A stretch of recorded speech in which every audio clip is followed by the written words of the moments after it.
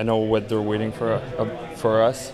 I know what I need to do for uh, impressing uh, people out here. Uh, I know they want us to be an everydayer, and that's what I build off uh, this year. And that's what I'm bringing here again. Just to get just to get to meet the guys like Anthony and and uh, Coach Blashill. You know, they're, they're good guys, and everyone here is is a good hockey player, and it's just about about learning the, the little things they teach you and having those stick with you to the next level.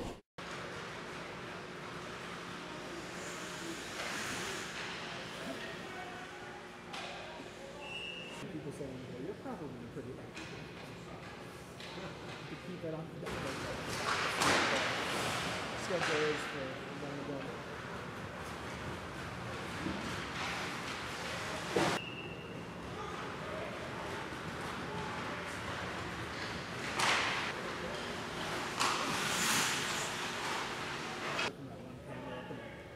Process there, and just watching him.